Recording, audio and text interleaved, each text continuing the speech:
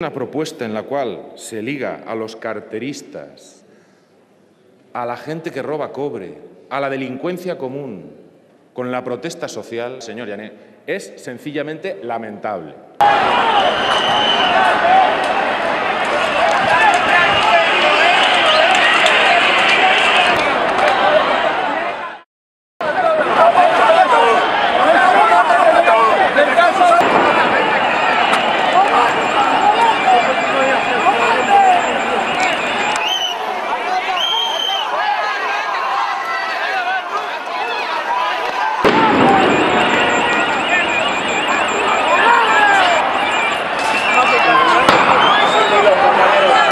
Usted pretende que esta Cámara modifique la Ley de Protección de la Seguridad Ciudadana, la Ley del Derecho de Reunión y el Código Penal.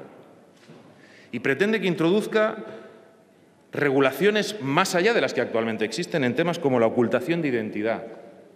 Señor Yané, ir en una manifestación ahora con una máscara para hacer una performance, ¿va a ser un delito? ¿Quiere usted convertirlo eso en un delito?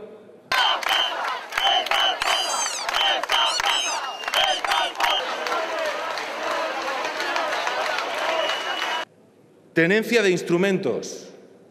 ¿De qué instrumentos? ¿Llevar un petardo en el bolsillo va a, ser, va a poder ser objeto de, de delito? ¿Se lo va a explicar usted eso a los valencianos?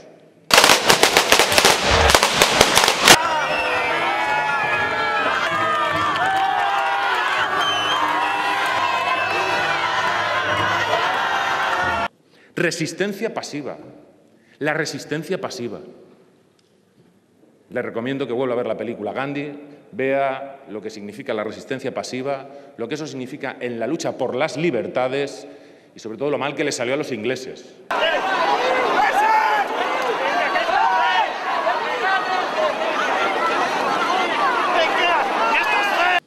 Obstaculizar la vía pública. Cortar la vía pública ahora va a ser un delito. Vamos a poder acabar en la cárcel por cortar la vía pública. Mire, la calle es del comerciante, del taxista, pero también es del manifestante y de los que reivindicamos. La calle es de todos y tenemos que buscar el consenso necesario para utilizar la calle sin acabar de criminalizarnos los unos a los otros. Y desde luego su propuesta no ayuda a eso.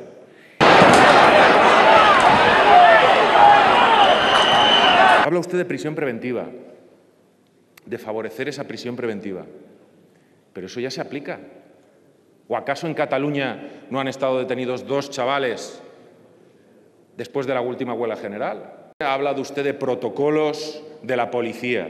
¿Protocolos como cuál? Como el del señor comisario de los Mossos de Escuadra, David Piqué, que escribe cosas tan ilustrativas como La redada estará especialmente mal hecha y con trato humillante para encender más los ánimos si es necesario.